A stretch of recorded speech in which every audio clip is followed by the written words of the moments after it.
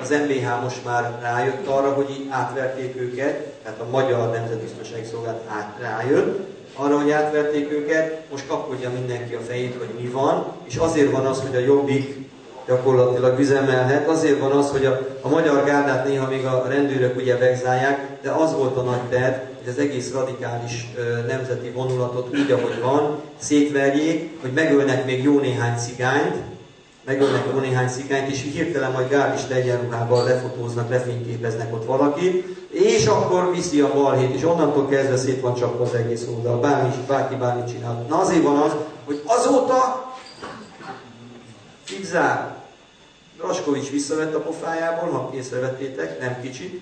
Bence sunyít, nem kicsit, figyeljétek, hogy beszél. Még, még tud beszélni, de örülhet, hogy az abszent becsúszik neki még. Mert olyan szinten állunk most, jelen pillanatban, dekonspirálva lettek. Nem tudják, hogy mit csináljanak, ugyanis a cigány-magyar polgárháború terve szét van csapva. Most amikor itt mondják sokan, hogy hú, de mit tehetnék, meg mit nem tehetnék, gyerekek, én egy hétköznapi, négy diplomás, három gyerekes családapa vagyok. Bármelyik őtök lehetne. Bármelyik őtök, aki tud információt, az elérheti ezt. Ezért mondtam, hogy ha valaki tud, nyugodtan közölje velem, mert most már a honlapomat azt egyszerre olvassák Moszkvába, Tel Avivba, New Yorkba, aki valamit tudni akar az országról, illetve a világ helyzetéről, olyan cikkek jelennek meg, azt a postaimre.com-on tudja megoldani, és ahhoz, hogy szétverjük, meghiúsítsuk a, a cigány-magyar polgárháborút, és ezáltal a nemzeti radikális oldalnak a teljes, totális szétverését, ahhoz két ember kellett. Az informátorom meg én. És téged miért banalnak vagy? Mert ez teljesen evidens lenne nem így, ne, ez politika. Evidens, evidens az lenne számukra, most még van sokakban kételj.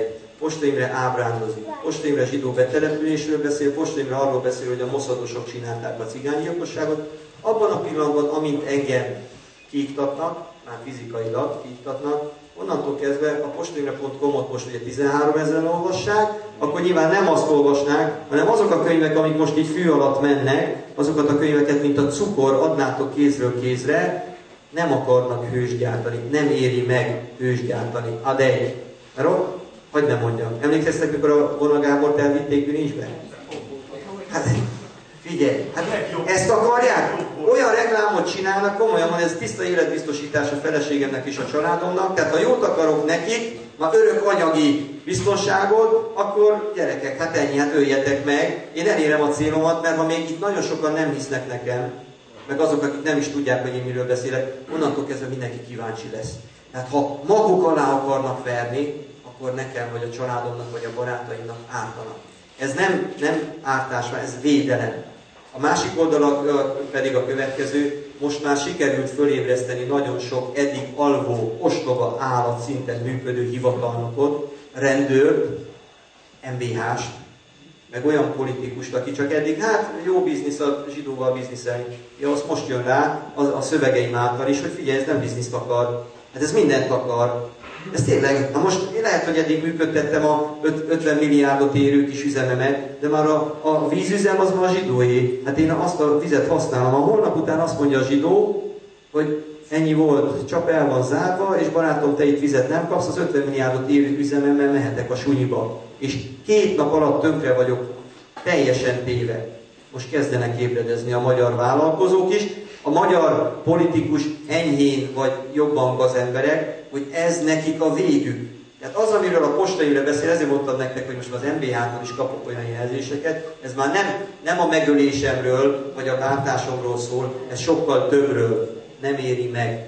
Hát merem remélni, ezt az asszony nevében is mondhatom, bár én önmagamban nem félek már ettől, tehát nyilvánvaló lehet, hogy látjátok, vagy nem látjátok, vagy gondoljátok, túl vagyok már azon a bizonyos ponton, hogy nem is tudom, csak úgy összeszarjam magam, azért mert most akkor mi történhet. Már ami történhetett, az, az megtörtént ebben a körben, ami meg még előttünk áll, az még a java, de ahhoz már ti is kelletek. Ugyanis most az van, hogy jelen pillanatban... Ezt akartam kérdezni. Mit kell csinálni? Várjál. Mi a tervő? Ács, ács. Mindenkinek. Először is megvárjuk a pörköltet. Ugye, mert üres, üres, hassal, üres hassal gondolkodni, üres hassal gondolkodni nem érdemes. A, a másik, másik oldal a dolognak még ugye nem értem, mondtam, hogy körülbelül két óra hossza, és azért figyelem, a, figyelem az órámat is. Szoktam érezni, mikor fáj, fárad el a szám, és ilyenkor ül az asszony mindig, mert akkor már nincs kedvem otthon nagyon beszélni, hanem a tettek mezeire lépünk, amikor elfogy a szó, akkor lövünk. Tehát,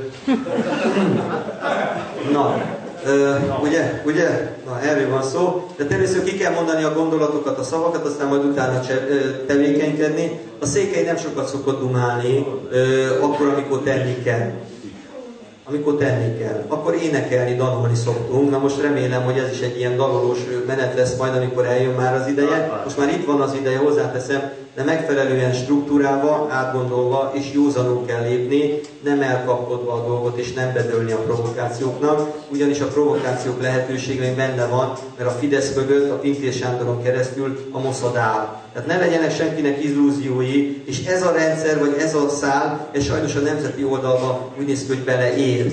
Tehát beleültették azokat az embereiket, ez így működött, mindig is így működött, de mondom, ne legyen illúzió senkinek, nem lesz ez olyan egyszerű menet, most már, már simán látszik, hogy ők előre gondolkodva, előre látva ezeket a dolgokat, szépen fölépítettek embereket, fölépítettek ö, olyan dolgokat, amiket kellő időben időzítve az egészet úgy le, tudják, le tudnák nullázni. Tehát nekünk mire kell fölkészülni? Bármire. Bármire, de egyre nagyon fontos, hogy magyar nemzetben gondolkozzunk. Miért? És akkor hozzáteszem, Elfogadjátok, hogy van itt egy ilyen zsidó betelepítési program? A zsidóknak menni kell valahova, mert úgy néz hogy Izraelnek... Menjenek haza. Mondom, igen, nincs, nincs hova. Nincs hova. A probléma ott van, hogy nincs hova menni. A probléma ott van, hogy, hogy ráköltöttek, ráköltöttek időt, energiát, és a mi, mi pénzünkből nagyon sokat arra, hogy a magyarországi betelepítést megvalósítsák. Ez nem csak Magyarország, Németországban is sok zsidó ment ám vissza, és szivárognak szépen be. de Magyarország egy, egy kísérleti telep, az összes európai államhoz képest. Magyarországot, ha bedöntik, akkor a szlovákokra se válna jó, meg a osztrákokra, itt szépen döntenék, és az előbb-utóbb az, európai, az egész Európai Uniót bedöntik, mert nyugi semmi nem az, aminek látszik. Ez, ez már egy hajszál híján működik, most már EP-ben is elkezdenek beszélni, útkor az egyik uh, ENSZ-es uh, nyilatkozta azt, hogy hoppá-hoppá itt a zsidók nagy területeket vásárolnak meg közép-kelet-európában, Magyarországon, itt ott, ott. Már kezdenek beszélni, nyílik ki a csipájuk, tehát már a politika nemzetközi szintéren is zajlik, sikerült bemozdítani ezt a szállat is, de tudnotok kell egy nagyon fontos dolgot. Miért pont magyarok? Miért pont a magyarok és miért pont Magyarország?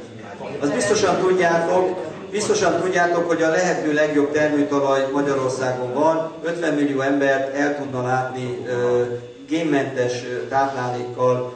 Gyakorlatilag európai élés kamrája voltunk mindig is az előző korokban. Ez az egyik. A másik ugye az a, az a víz, amit egyre többen emlegetnek, hogy igen víz. Hát itt úgy néz ki, hogy az édes víz, mert sósból van nekik is, de édes vízből, ásványvíz, ivóvízből és minőségi ivóvízből úgy néz ki, hogy a ö, fölmérhetetlen kincsekkel rendelkezünk a jelenlegi álláspont szerint. És a legnagyobb kincs az nem az olaj lesz ö, a közeljövőben, hanem a tiszta ivóvíz, és gondoljátok végig, hogy ez azért van, mert nincsen fenntartható fejlődés. A fejlődés az nagyjából így hopp, hopp, megállt, azt így zuhanó repülés, tehát arra kell fölkészülni, hogy egyáltalán fenntartható élet lesz-e. Nem az életminőségünk fog emelkedni jobban, hát hova jobban? Az agyunknak kéne egy kicsit megemelkedni, hogy gondoljuk végig, hogy gyakorlatilag az élethez, a normális emberi léthez, amit teljesen megszüntettek a liberális buzi társaság védjegye alatt jelen pillanatban, hogy visszatérjünk az ősiséghez, ami akkor idején, annak idején jól működött, és csak ez működik. Aztán a geotermikus energiáról hagyd ne beszéljek, azt tudjátok, hogy a furtkút, de ha nem is furtkút, akkor följön magától. Ezzel ki lehetne fűteni az egész országot, most kicsit nagy dolog. Nyilván a, a gázmezők, a föltárt vagy föltáratlan gázmezőkkel, ugye Makó és környéke, de itt nem csak Makó, hanem a, a, a medencében bárhol ö, megfúrják ezt a ö, földet, akkor gáz találnak, annak a minőségéről lehet beszélni, vagy vitatkozni. Lényeg az, hogy gáz van, nem kicsit. Aztán az olaj is van ám Békés megyében, nem kis mennyiségű, csak le vannak dugózva a kutak, illetve bocsánat, csak pumpálnak, hogy ne, ne száradjanak be szépen, és várnak, várnak nekik, nekik, nekik később. Van, van, itt, van itt szén, van itt szén, és van itt aranykészlet is, nem kicsit. Ha azt gondolom, akkor Magyar, Magyarország, még most is így a csonka Magyarország, a világ egyik, hanem a leggazdagabb ország.